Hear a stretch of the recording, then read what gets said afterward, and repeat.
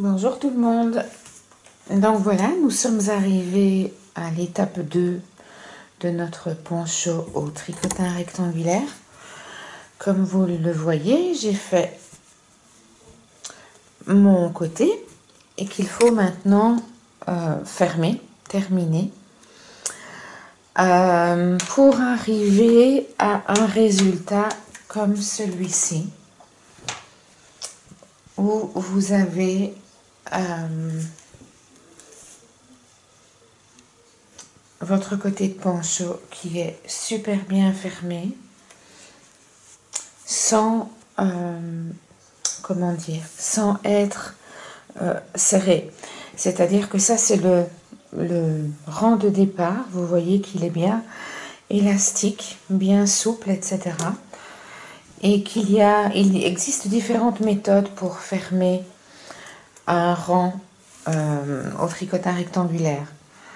Euh, moi, je privilégie toujours euh, la fermeture du rang avec un crochet parce que ça permet, comme vous le voyez, à ce que le rang ne soit pas tout serré comme ça et qu'il ait exactement la même dimension sur toute la largeur.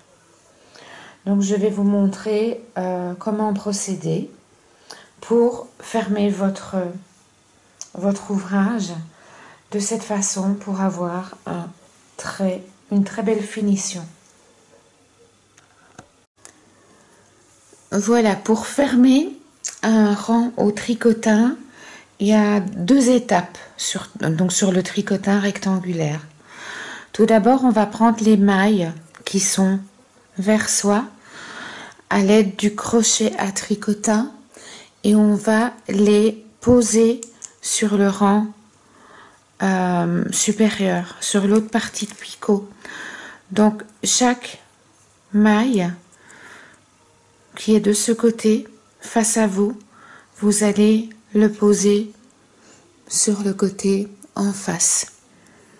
Ça n'a rien de compliqué. On prend la boucle et on la met sur le picot en face.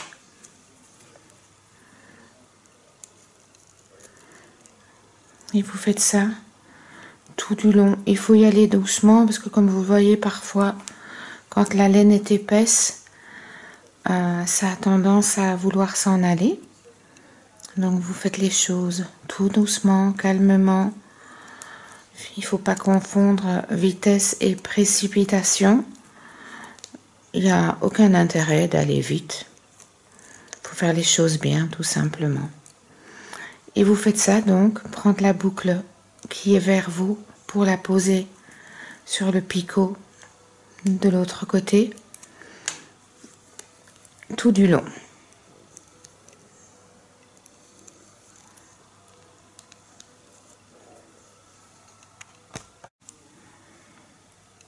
Donc voilà, on arrive au bout et donc on met bien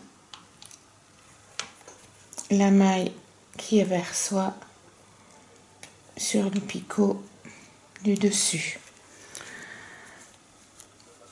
Quand vous avez tout fait, vous tournez votre ouvrage de façon à ce que vous ayez le fil de tricot sur la droite. Voilà. Ici, c'est un gros ouvrage qui prend de la place. Et je vais vous montrer deuxième étape. C'est pas compliqué. Vous prenez la maille du bas et vous la passez sur le dessus. Donc ça, c'est la deuxième étape. Vous voyez, celle-ci, c'est un petit peu échappé. Donc, on va la remettre convenablement. Et donc, on passe la maille du bas vers la maille du dessus. Et on fait ça tout du long. Voyez, jusqu'à présent, Ça n'a rien de chinois.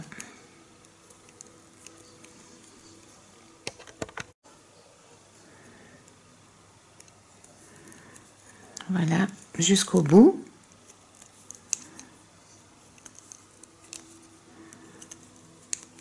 Et voilà.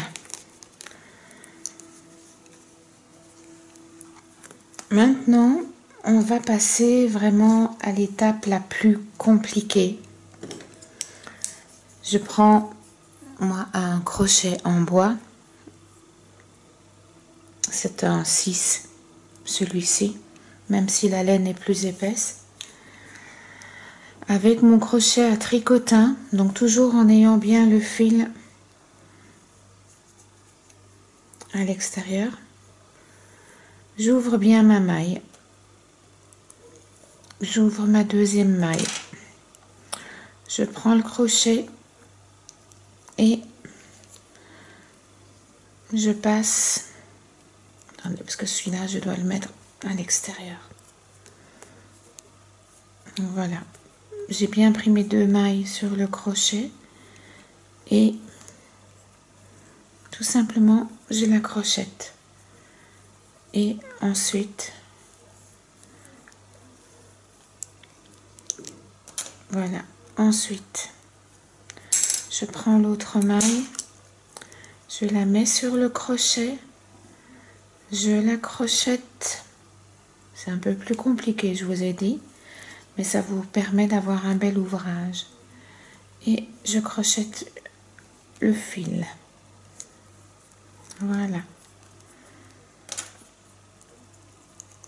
Prochain picot, je le sors, je le pose sur le crochet convenablement. Allez, il s'appelle. Tu fais des bêtises. Je le crochette. Je prends le fil et je le crochette maille serrée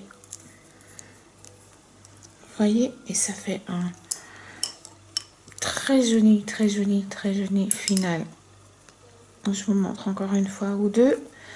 Et on fait ça tout du long. Donc je sors la maille je mets le crochet.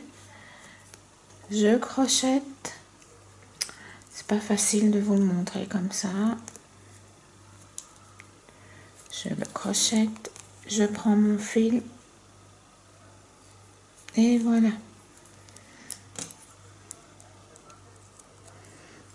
J'espère que vous voyez bien malgré mes mains sont bien grandes et qui vous gâchent un peu le plaisir. Donc, je prends ma maille du picot.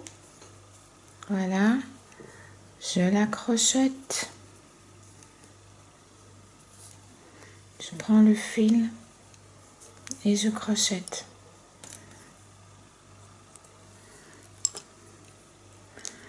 Je le prends.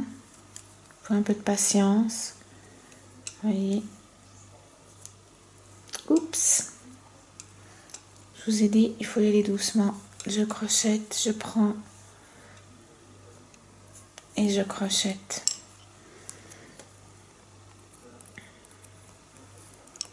Je vous montre encore une fois. Je sors la maille du picot.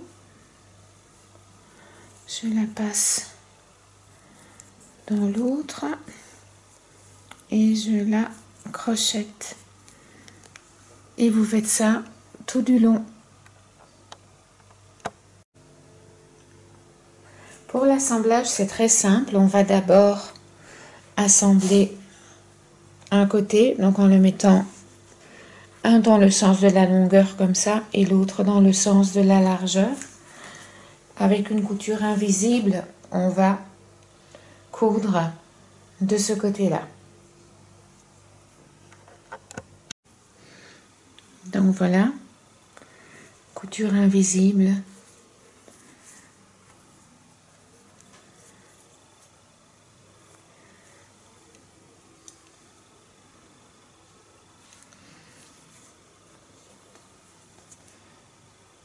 Le petit côté avec le grand côté.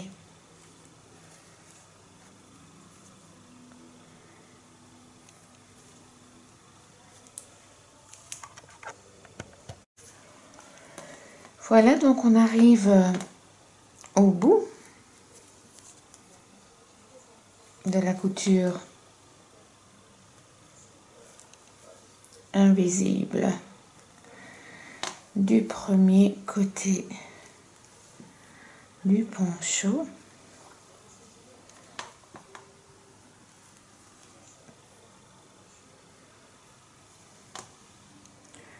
Voilà. Et donc, on tire bien sur le fil pour avoir une superbe couture qui ne fait pas du tout de vilaines traces de l'autre côté, vous voyez. Et euh, vous voyez, c'est juste nickel. Et on va procéder à la couture du deuxième côté pour fermer le poncho.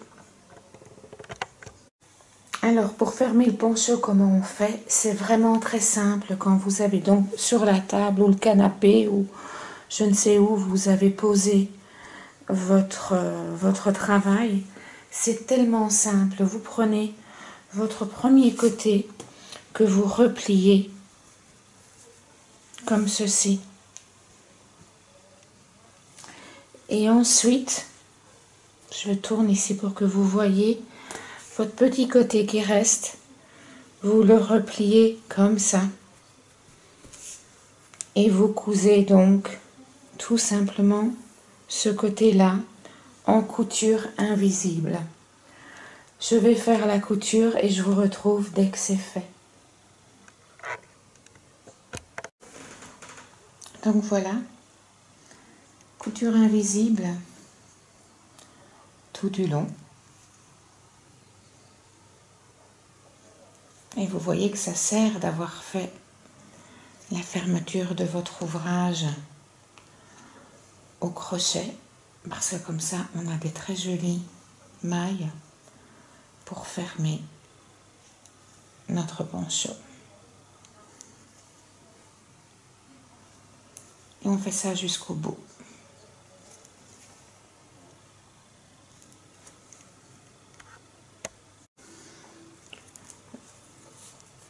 Voilà, on arrive au bout de l'exercice couture.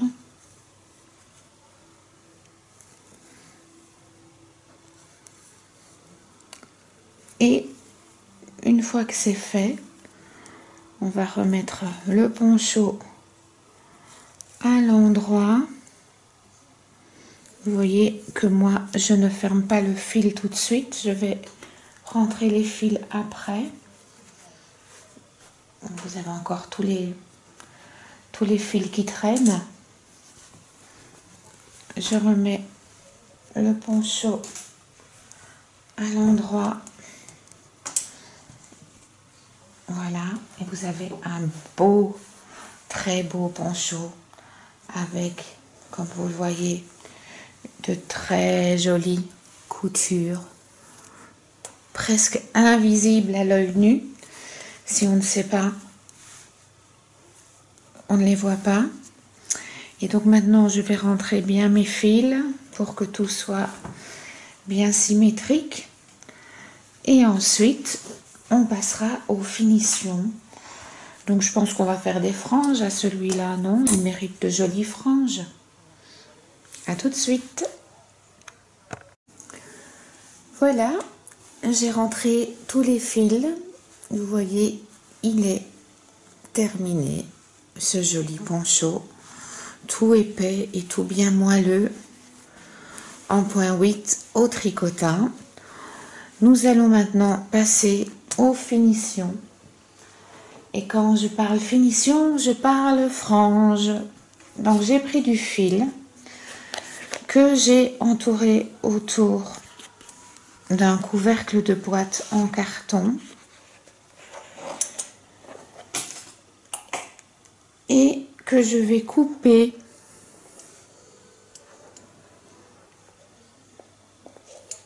Ici sur le milieu.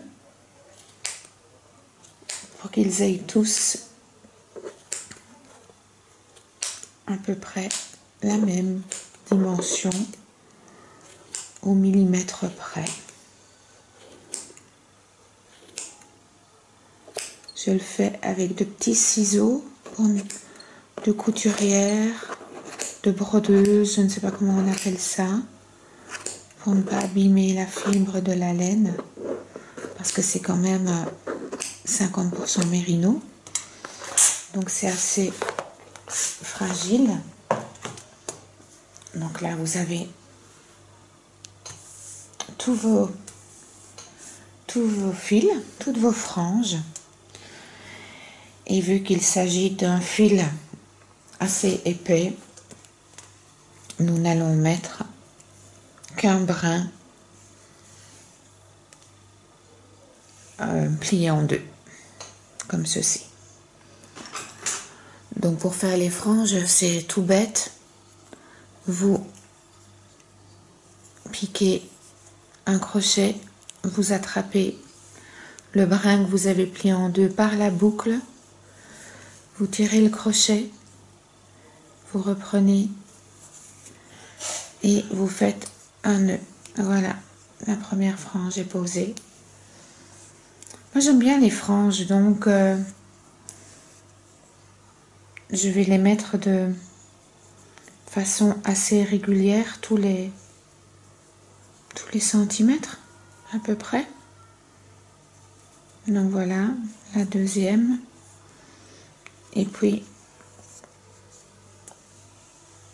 on passe l'anneau.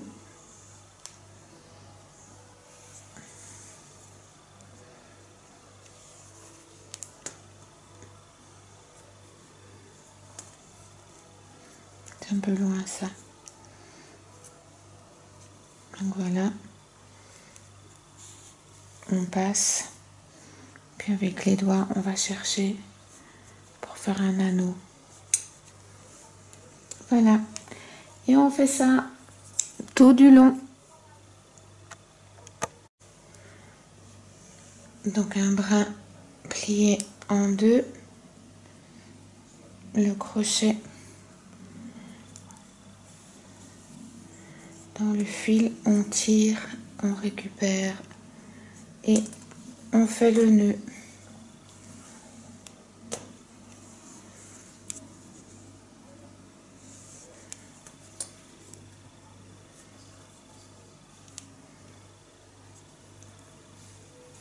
Ça va être un très chouette poncho, bien chaud pour l'hiver, que vous pourrez facilement mettre à la place d'un manteau.